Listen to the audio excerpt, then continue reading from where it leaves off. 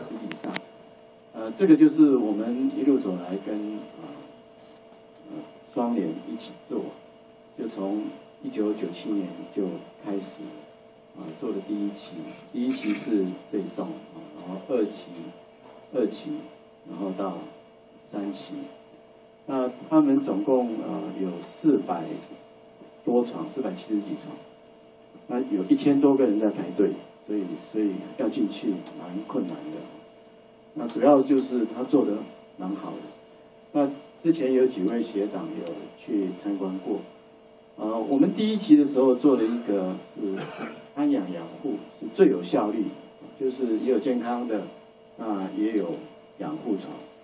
那是一个 L 型，因为东北季风正好是这个方向，又在海边，啊，所以先把风挡下来。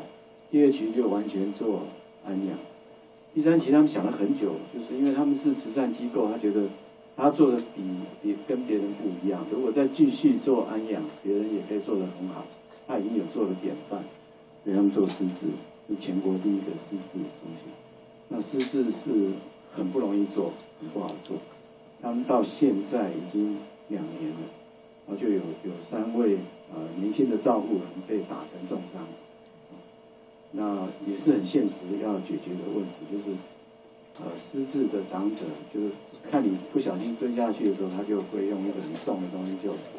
他他也没有那个意识就把你打。那我们也去参访过很多次，那他们也要特别去照顾，就是说他在。某一段时间，他就开始很紧张、很急躁，是自的长者。他可能年轻的时候早上要去送小孩，中午要回家，东西、送便当或什么，他那个时候就很紧张了。当然，我我我问过，开玩笑跟他说有没有那种跑三点半的，现在还继续在跑三点半。但是这个不是笑话，这个是很务实、很务实。有些吃饭就一直吃、一直吃，你就。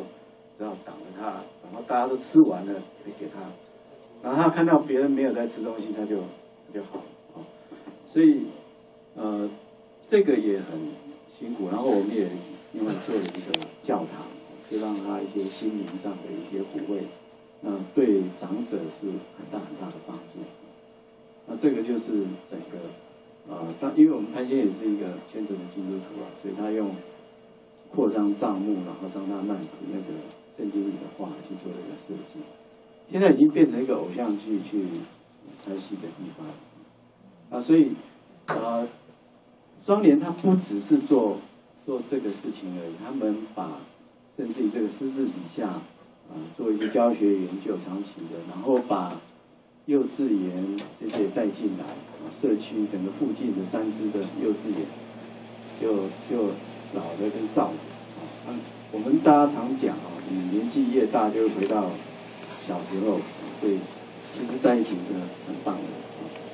那这个是我们在张基路东做的，也是它是很大的一块地，那个大概快二十公顷这么大。它有一个慢性的医院的教堂，然后这是他们的